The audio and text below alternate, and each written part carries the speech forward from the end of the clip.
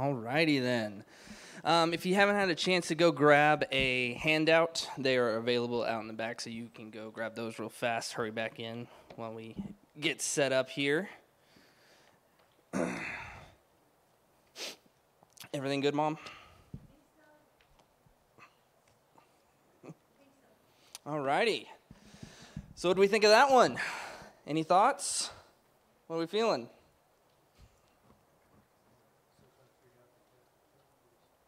What? Oh yeah, y'all y'all kind of still confused on who's who, who's supposed to be who.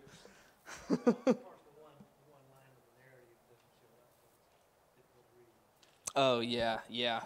The we're still trying to figure out the uh, subtitle situation. We don't know how to adjust the the picture up there so you guys can really read.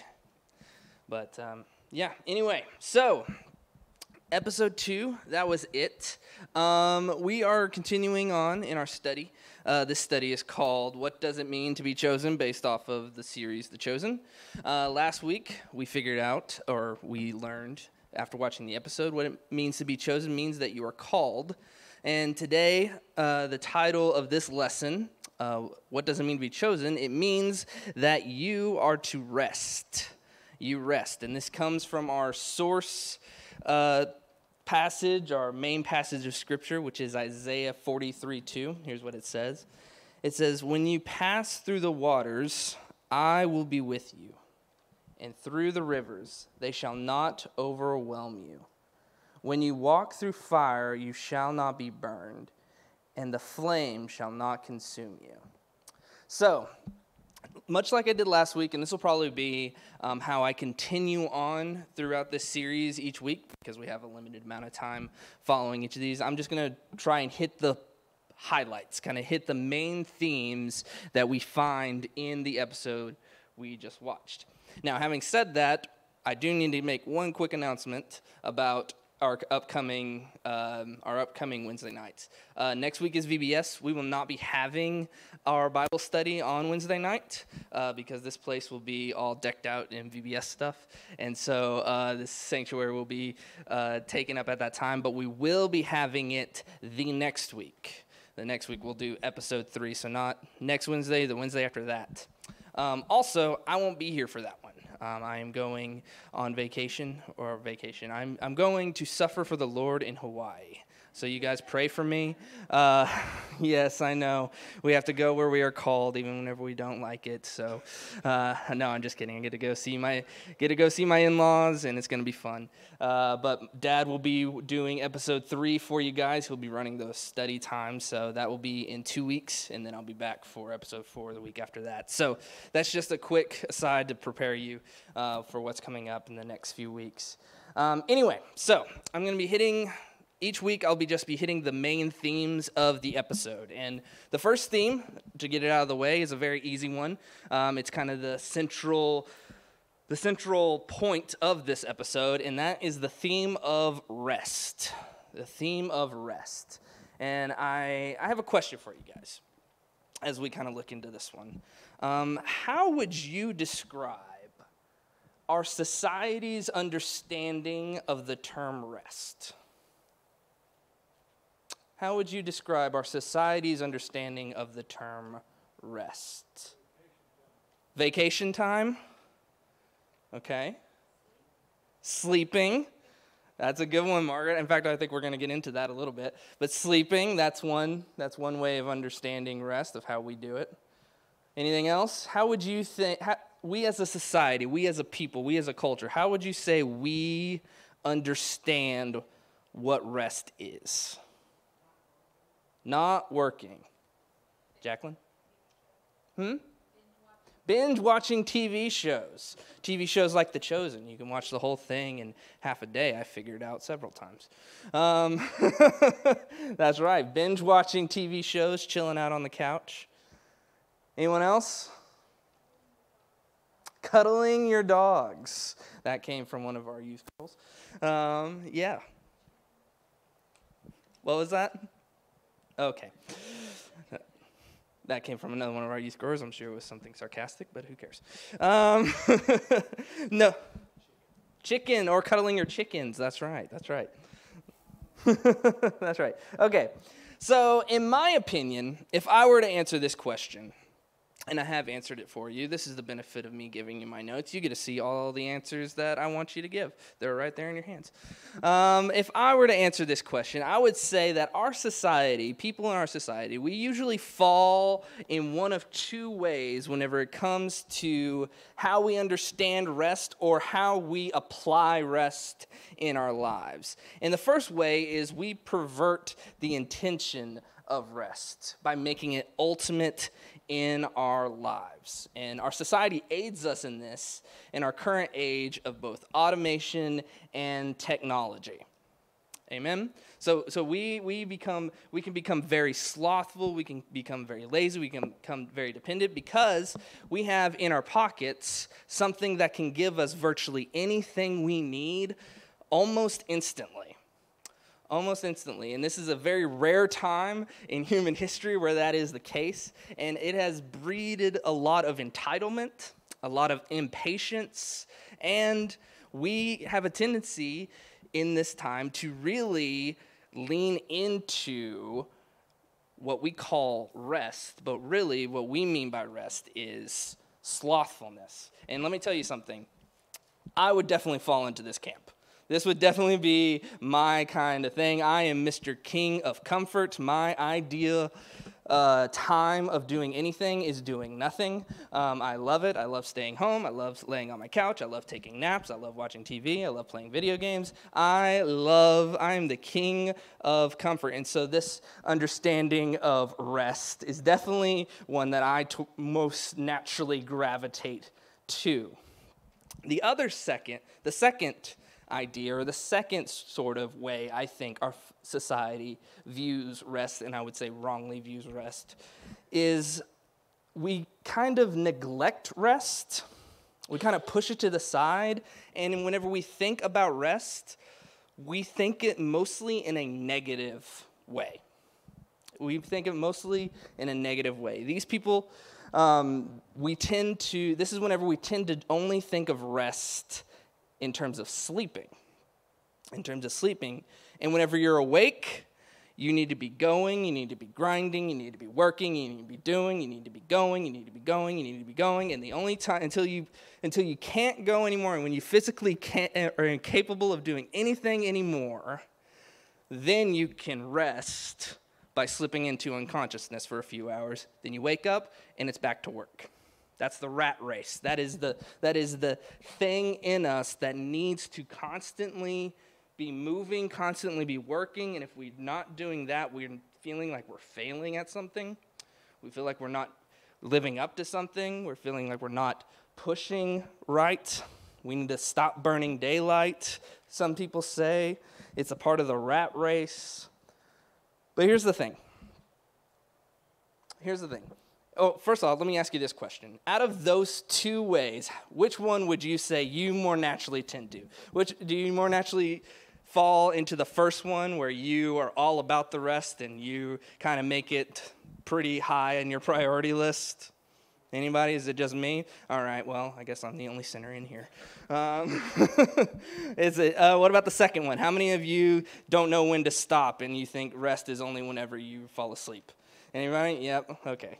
That's the one we tend to not feel as bad about omitting. Um, but yeah, so those are the kind of the those are the two those are the two ways I feel like, at least in my since me observing our culture, our society, how we fall. In neither of those ways would I say are proper biblical applications of what rest is or what rest is intended to be and what God intends for you when you rest and how you rest.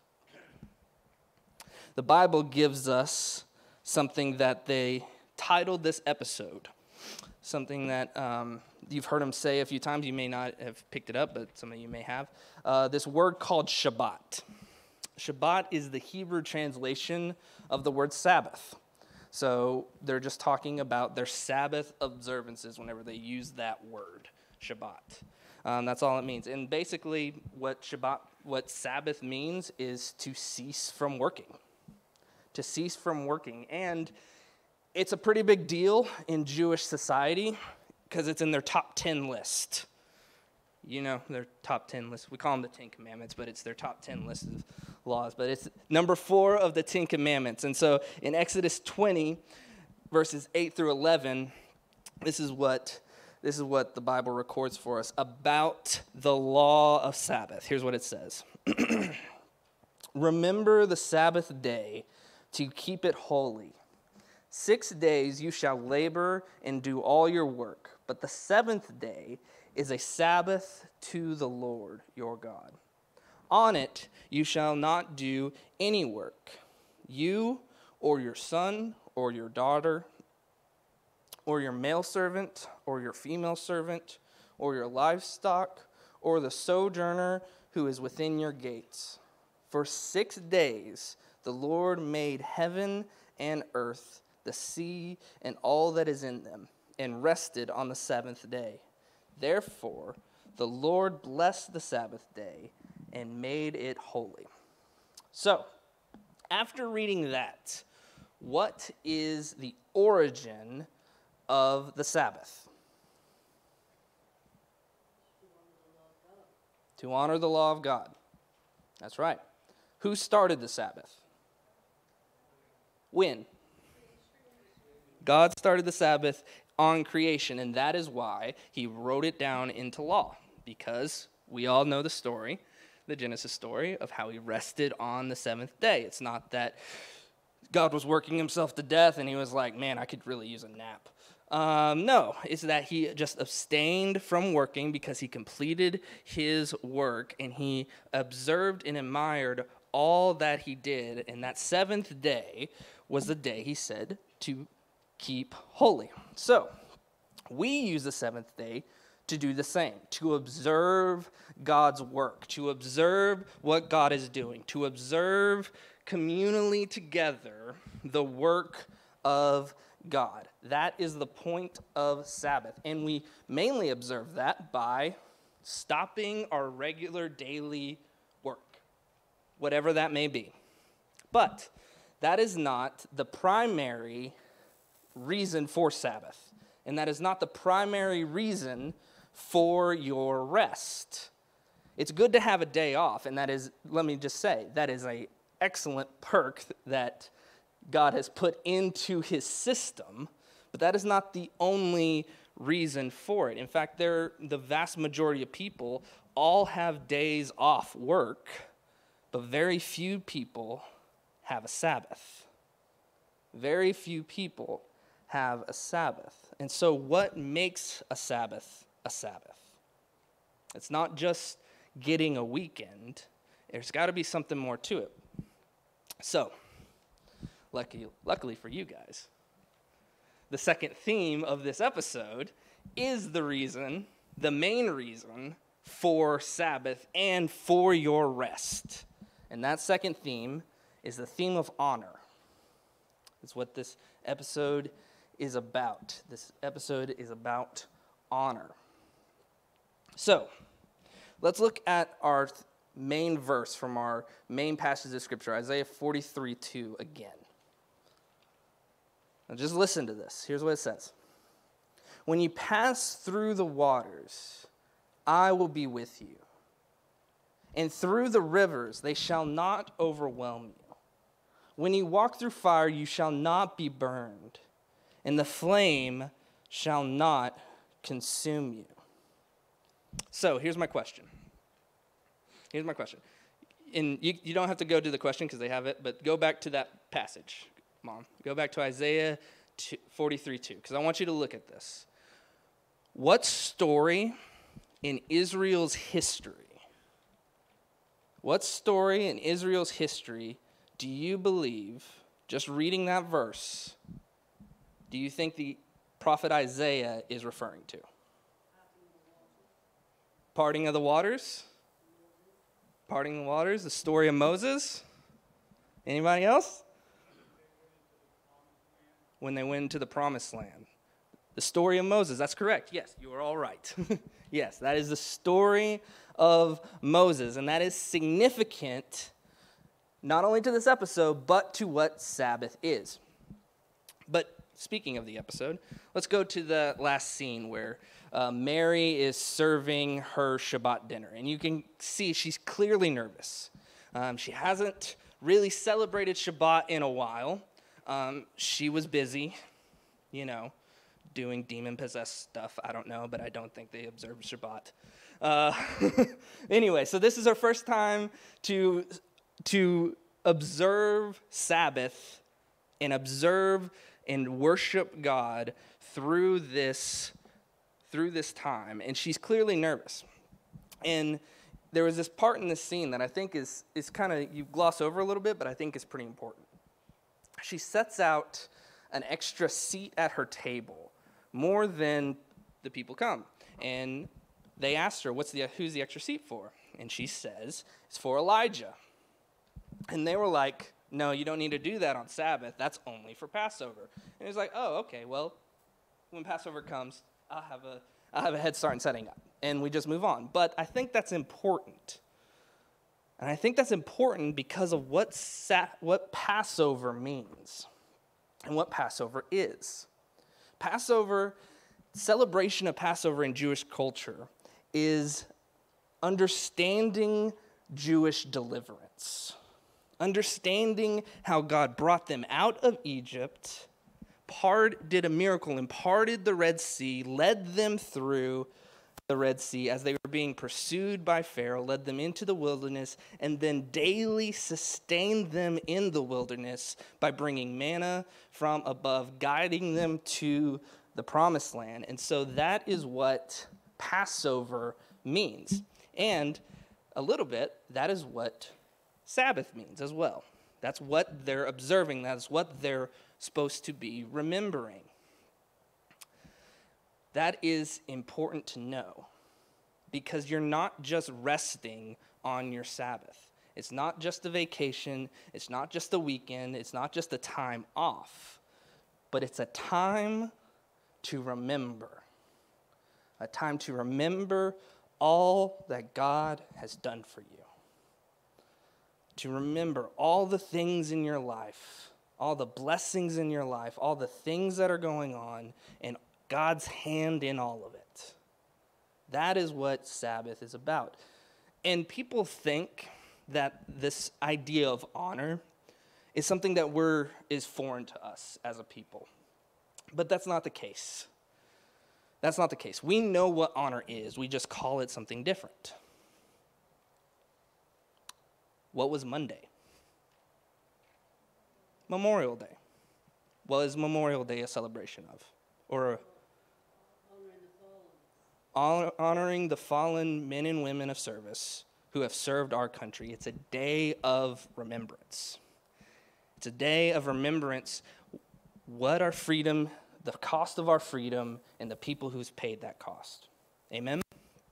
And so we understand, we know what this is. We know what a Sabbath is and what it means to honor something with your time and honor something with your thoughts. And that is what Sabbath is supposed to be for us. It's not just a weekend or a day off.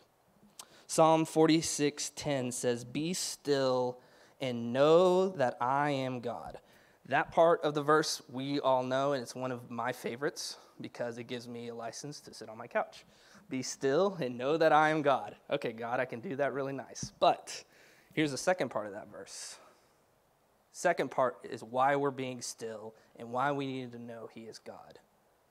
It's because I will be exalted among the nations, I will be exalted in the earth.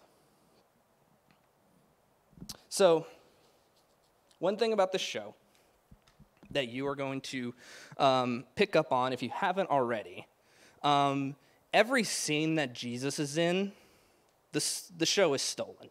Every scene that Jesus is in, he owns it. It's the best scene of every single episode, every time he shows up. And just so you know, whenever I first watched the, this, this show and I saw the first two episodes, I thought what probably all of you are thinking I need more Jesus. Like, can we stop this showing up at the end for the final scene thing? Like, we need more Jesus. Um, and to that, I say, don't worry, you're going to get a whole lot more Jesus in the next episode. Um, so stay tuned for that. But my question is this outside of Jesus showing up at the end, what would you say was the most touching scene of this episode? The whole thing, Carol? the whole thing, Carol? Yeah, it's a good show. Uh, it's a good episode. But no, what do you think is the most touching part of the Kyle?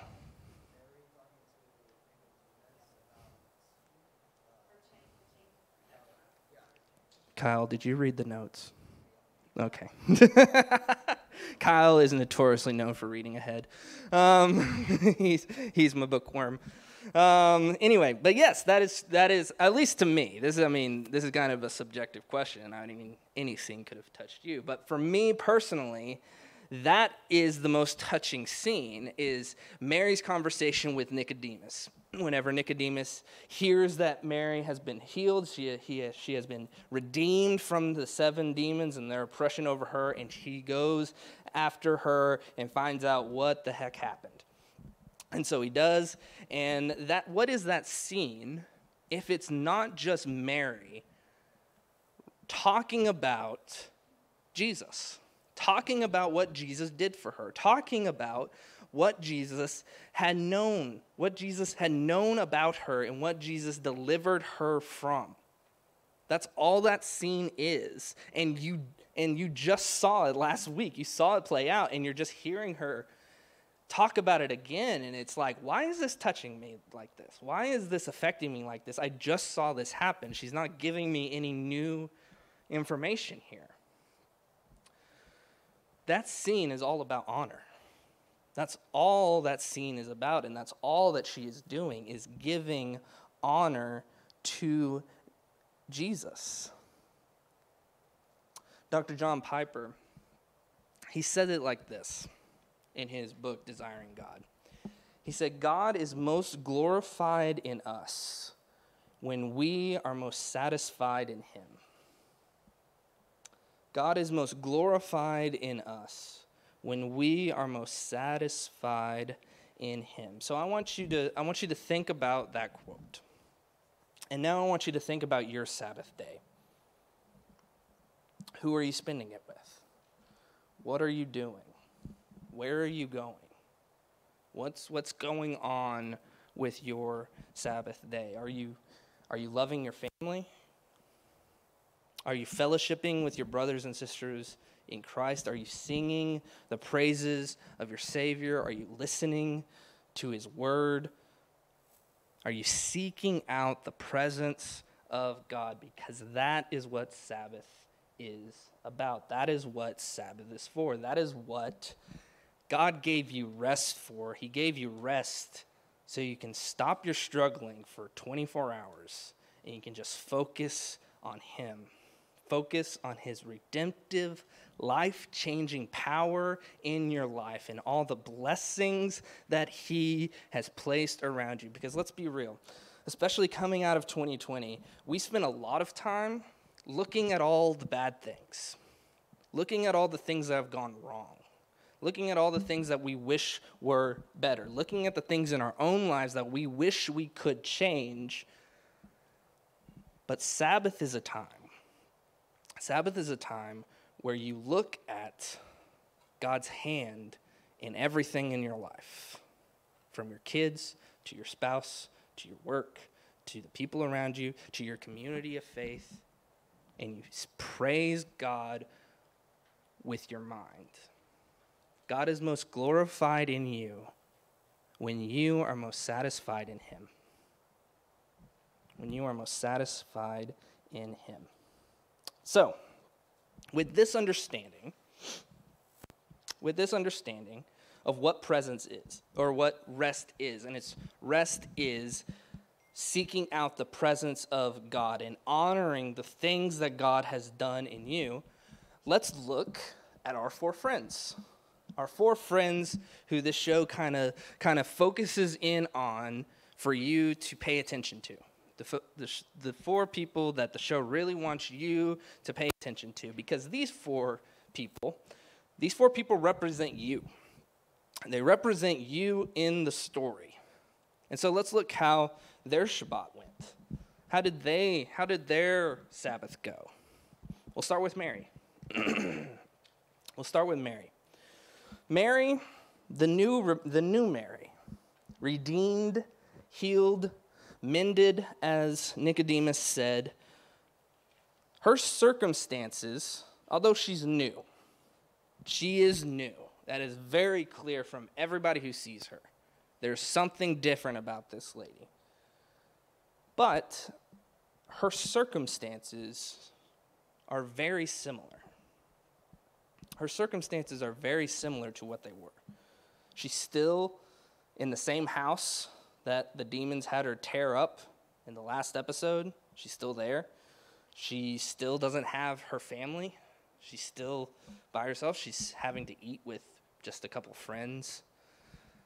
Her circumstances haven't changed. In, in terms of that, she's still the same. But she's changed, right? She's changed. See, when it comes to rest, and it comes to biblical rest and biblical peace, it has far less to do with your circumstances and far more to do with God's presence.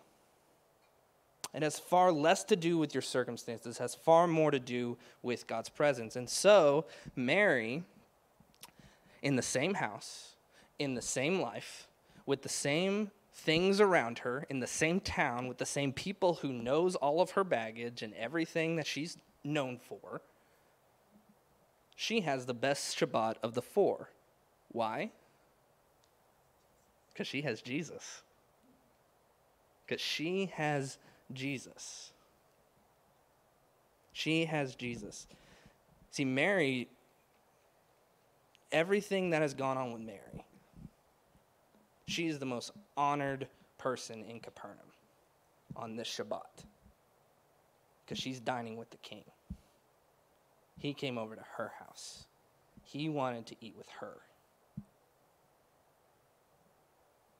Your rest and your peace has far less to do with what's going on around your life, much less to do with the money that's in the bank, with the place that you're living, with what's going on with your relationships, what's going on with your kids, what's going on with whatever. It has much less to do with your circumstances. It has much more to do with the presence of God in your life. And that's, that's what's going on with Mary. So let's move to Nicodemus, whose circumstances are not bad right?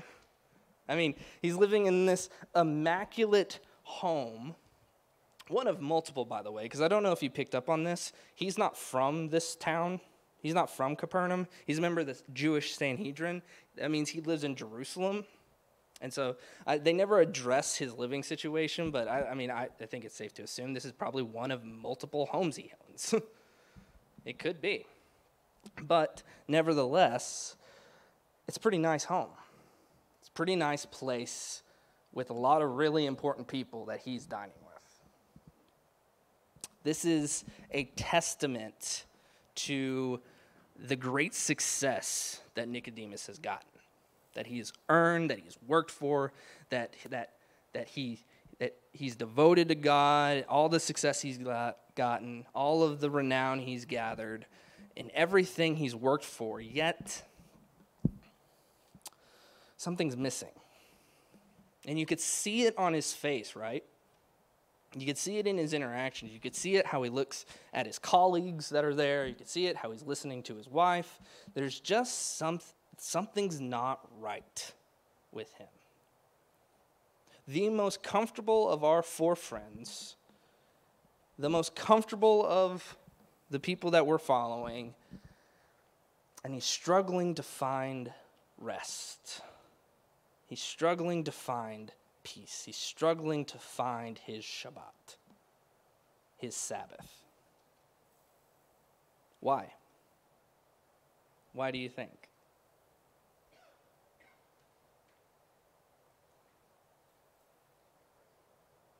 Because Jesus isn't there is because what he's missing is, and what this whole thing is a testament to, is a testament to his success, what he can achieve, what he can strive for, what he can grab at, what he can do. And even though it's beautiful, filled with tapestries and gold and, and all these things, even though it's beautiful, it's not satisfying. It's not satisfying. It still falls short of what he knows God to be and what he knows God honors and what he knows God to, to, to value. It falls short of that. See, the spoils of this life can never satisfy the hunger of the heart. And that's something that you young people need to understand because you're going to be tempted to chase the spoils of this life. You're going to be tempted to chase the things in this life that are shiny and the things of this life that the world tells you to value, but whenever you obtain it, it won't be enough. You need Jesus. You need what Mary's got in her little shack she's hiding out in because she's the one who's having the best Sabbath. And then we have Matthew. And then we have Matthew. And Matthew, his devotion to the logical and rational and reasonable path in his life has really led him in complete opposition to his people and to his culture. He is disowned from his family. He is not liked by his neighbors. And he is looked spat upon by his neighbors, actually. And he is seen as a amusing little pet by his superiors. And he's spending his Shabbat on the outside, eating on the ground with a dog. Now, real quick about that because that's an important image that you need to get. Um, it's his, it's his dog. We find out that out later. We have some people who watch the show. No spoilers. Um, you you all have read the book, I hope so. Uh, you know what's going to happen. Um, anyway, but there's an important thing about that imagery there of that last scene of, of Matthew sitting on the street eating with a dog because that is imagery that shows up several times in the Bible, believe it or not. Not, not for Matthew specifically, but this is the definition, the biblical definition of an outcast, of the people who are on the outside of God's covenant, of the people who are outside of the family of God. They are, they are they are not in the household of faith. They are on the outside. This, in fact, Gentiles are referred to as dogs. They're referred to as eating with dogs. They're referred to as being outside of the home, outside of the household.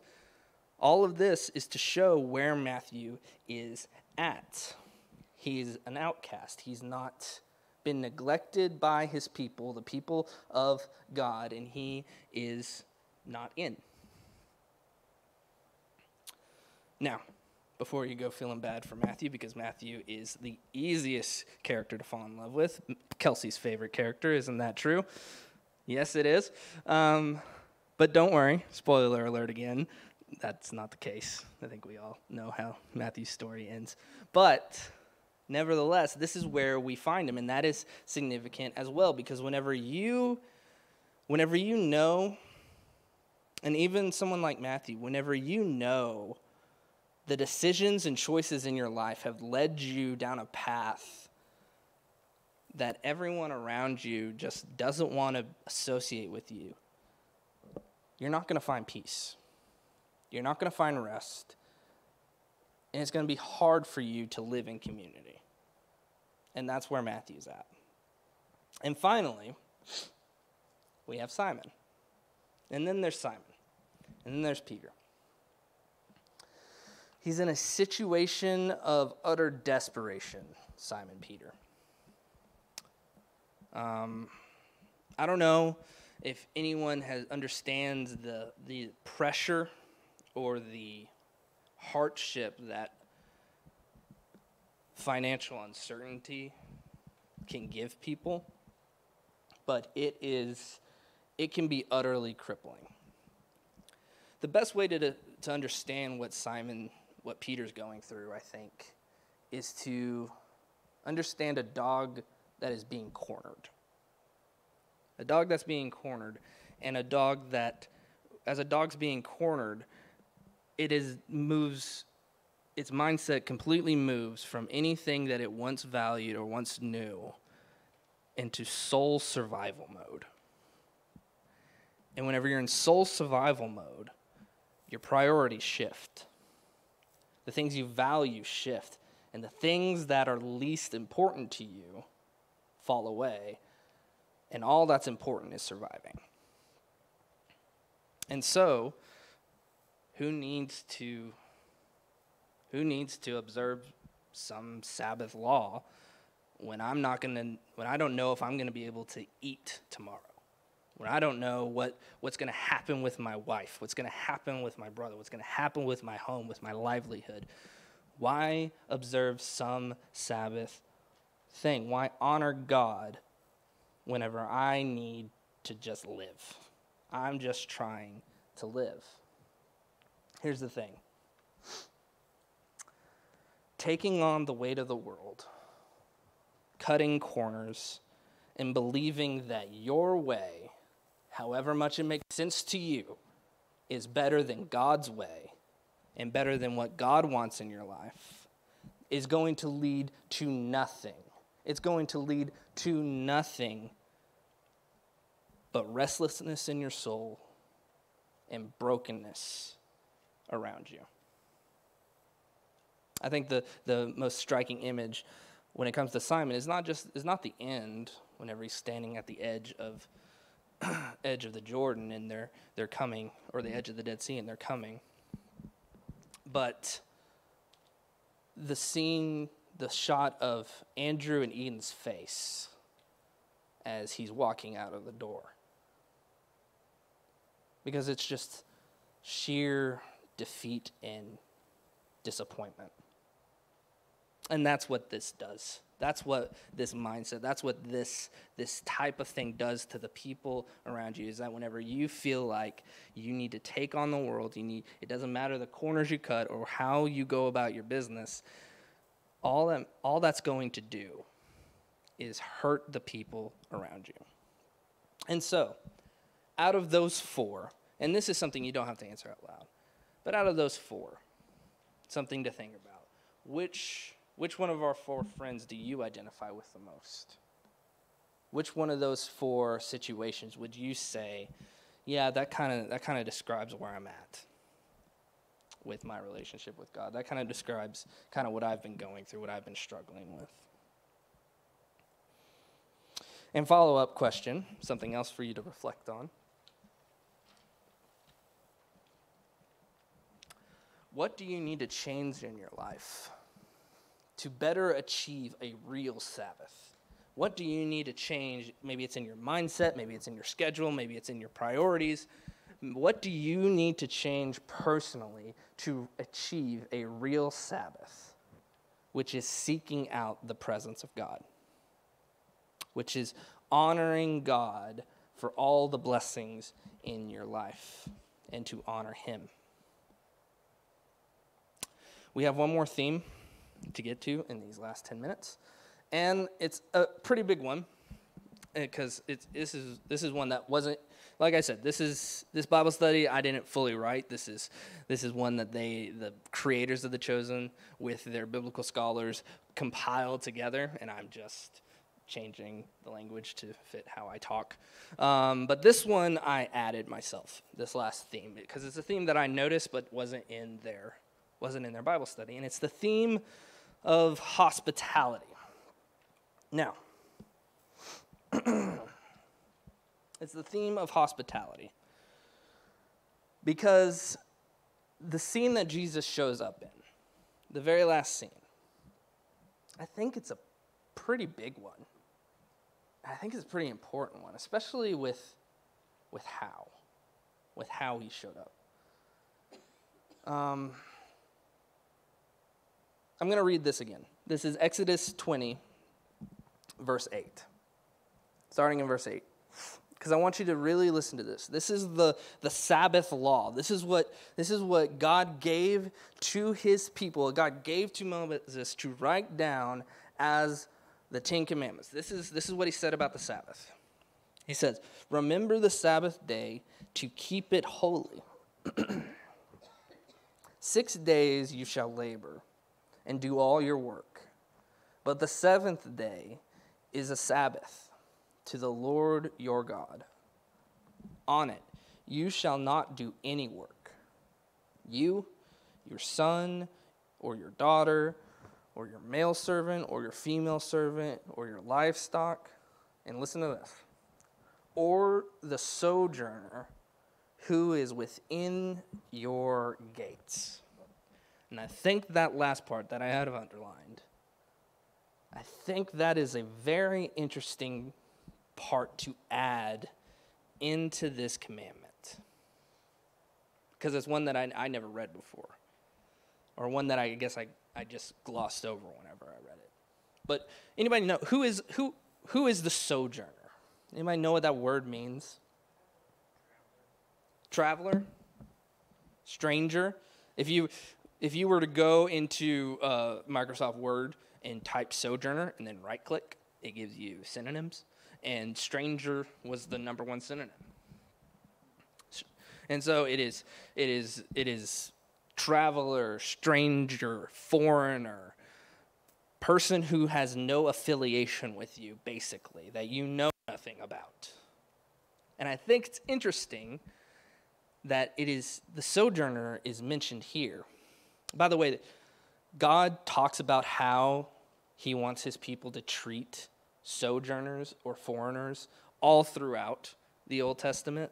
We just, I mean, we just don't really read them very often, but it's all throughout. But the sojourner is brought up here. And the more I was reading this, the more I thought, what a revolutionary commandment this is because of that. Because you got to understand the times in which this was written, a hyper tribal time where sojourners, where foreigners, where travelers were dangerous.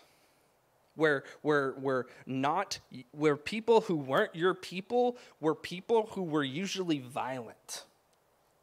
And you were probably violent too. It was a very primal, very chaotic, very, very, again, just primal time in human history. And so, this idea that in the Ten Commandments, God would say, Your sojourner, they're not to do work either. The sojourner that is within your gates. And I think that's very, very cool when you consider this episode that we just watched. Because who's the sojourner in the episode? That's right, it's Jesus. Yes, he's a Jewish man, but he's not, he's observing Sabbath in a home that is not his. And here's a little God wink at you. We know, even though he's a Jewish man, he's also sojourning. He's coming down from heaven into our world, walking on our dirt. Not really our dirt, but you, you get the point. He's the sojourner.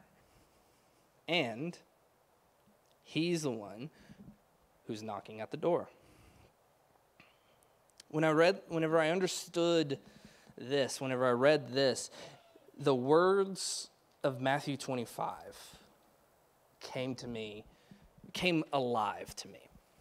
Matthew 25, um, you probably know it. It's the time whenever Jesus is predicting the end times and he's talking about how it's going to be and how he's going to have sheep on his right and goats on his left. And this is what he says to the sheep, what he's going to say to the people on his right, the people, the righteous people who will be joining him and his Father in heaven. This is what he says to him. This is what he says to them, Jesus does. For I was hungry and you gave me food. I was thirsty and you gave me drink. I was a stranger. I was a stranger and you welcomed me. I was naked and you clothed me. I was sick and you visited me. I was in prison and you came to me. You see, God wrote this into his law that we are to be a people, a generous, loving people who are who whose love, whose God's love in us overflows and abounds within us to every single person and everyone that we come in contact, in contact with, and everyone who God has placed in our lives. And whenever you talk about hospitality, we usually think that means making meals. We'll do Sunday meals. We'll do we'll do we'll we'll we'll we'll, we'll do these certain things and we, we make hospitality this very underrated part, underrated gift of a believer. But it's a very crucial gift because it's how you image your Savior. It's how you image your Savior. It's how Jesus comes alive in you and works through you with how you treat the people around you and how you treat the sojourner within your gates, within your domain. Because here, Jesus is playing the part of the sojourner.